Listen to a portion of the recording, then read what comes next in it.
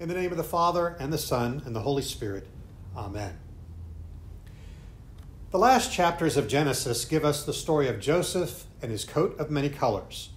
It's a story we teach to children in Sunday school, but it was also turned into a musical by Andrew Lloyd Webber called Joseph and the Amazing Technicolor Dreamcoat. Donny Osmond famously portrayed Joseph. I never saw it, but I wondered given that so much of Joseph's story can be depressing, how did that famous Osmond smile fit in? Joseph's story is depressing because his ten brothers do a great evil against him. Joseph is his father Jacob's favorite son, and Jacob, also known as Israel, gave him a colorful coat to show his favoritism. The brothers didn't like this and made plans to kill Joseph. Reuben, the eldest brother, had a bit of the fear of God in him and convinced his brothers to sell Joseph into slavery rather than kill him and then lie to their father Israel and tell him that Joseph was dead.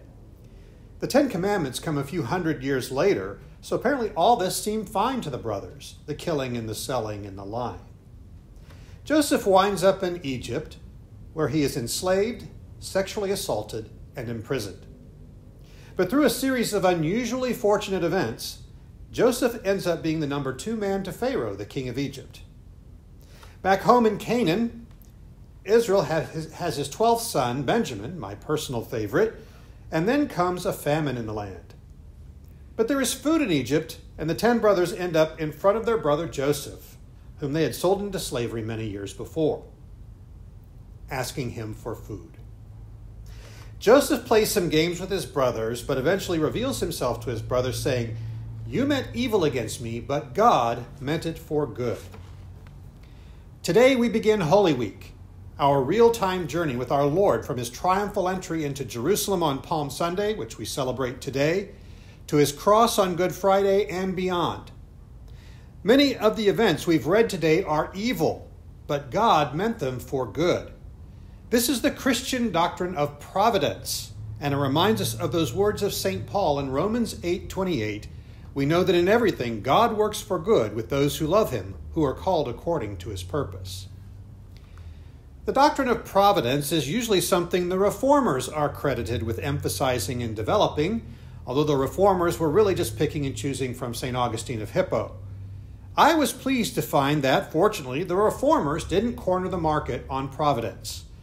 I found at least three saints, all named John, and all more Eastern than Western, who've written on providence. First, from the early 18th century, St. John of Tobolsk who was born in Ukraine and died in Russia. He writes What is providence? It is one of the basic characteristics of God to see all that is going on, was going on, and will be going on in the future as though it is the present, and to have omnipotent concern for safeguarding all creation and wisely managing all its manifestations. He also puts it a little more simply there's nothing random in the world. In the 8th century, St. John of Damascus writes this God is both creator and provider, and his power of creating, sustaining, and providing is his goodwill. And in the 4th century, one of our favorite Saints John here at St. Michael's, St. John Chrysostom, writes this It is clear that not our diligence, but the providence of God, even where we seem to be active, affects all. Closer to home, and not named John, is 20th century Anglican Dean Norman Hook. The doctrine of providence stands primarily for the essential nearness of God. Today's readings are saturated with examples of God's providence in the form of prophecy and fulfillment. In fact, the events of Palm Sunday and Holy Week have been prophesied since the beginning of time. We could go all the way back to Genesis 3, but I'm going to stick with the lengthy texts we've read today. Much of the providence is both prophesied and fulfilled in these readings, hence the long texts. For example, in the Liturgy of the Palms, the Gospel has Jesus telling two of his disciples where to find a colt. Two verses later, they've got the colt and take it to Jesus. We see the same kind of thing in the Passion Gospel. He sends two disciples to follow a man carrying a jar of water, and two verses later, they reserve the upper room to prepare the Passover. A few verses later, in that upper room, Jesus predicts that one of the twelve will betray him. They respond one at a time, asking, Is it I? Thirty verses later, uh, Judas shows up in the Garden of Gethsemane with a crowd carrying swords and clubs and betrays our Lord with a kiss. In the upper room, Jesus also predicts, You will all fall away, and even backs up this prediction with a prophecy from the prophet Zechariah I will strike the shepherd, and the sheep will be scattered. In spite of vehement denials by all the twelve, 20 verses later, Mark writes, And they all forsook him and fled. The most famous upper room prophecy is probably Peter's denials, three of them. Jesus predicts them in Mark 14:30, and in Mark 14:71, Peter hears the cock crow a second time, remembers what Jesus had said to him, and breaks down and weeps. These denials take place the same night, not months later, not days later, but just a few hours later. And it's not just in our gospel that we see providence in the form of prophecy. We hear it in our Old Testament reading from Isaiah. I gave my back to the smiters and my cheeks to those who pulled out the beard. I hid not my face from shame and spitting. Isaiah wrote that about 700 years before Mark wrote this from today's gospel. And they struck his head with a reed and spat on him, and they knelt down in homage to him. And did you hear this from today's psalm? They put their heads together against me. They plot to take my life. Put that with the gospel today. Then Judas Iscariot, who was one of the twelve, went to the chief priests in order to betray him to them. And when they heard it, they were glad and promised to give him money. And he sought an opportunity to betray him. On Maundy, Thursday, Good Friday, and many Fridays, we read Psalm 22, and we will hear these words. In Psalm 22, verse 18, they divide my garments among them, and for my raiment they cast lots.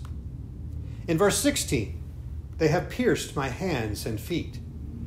And of course, that cry we heard in our gospel reading, the very first verse of Psalm 22 My God, my God, why hast thou forsaken me? You meant evil against me, but God meant it for good. There is nothing random in the world.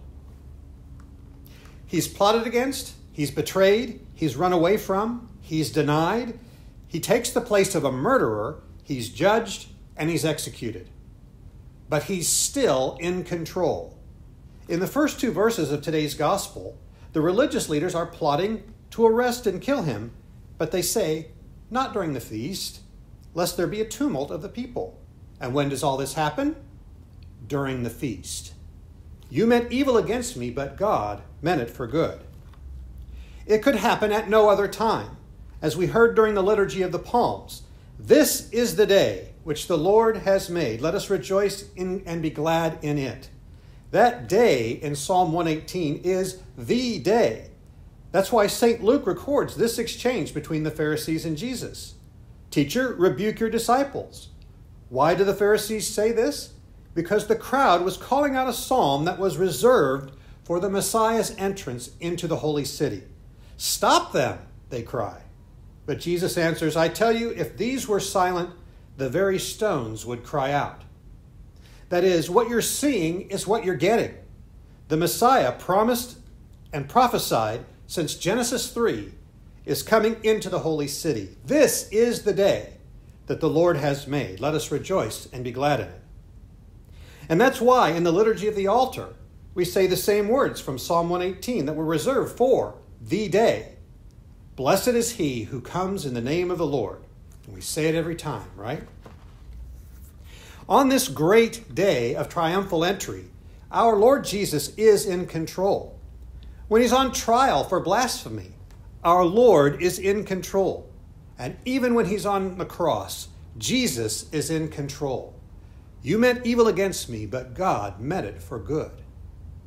And for those of us who think he's too far away right now, and some days it does seem like the world is flying apart, doesn't it?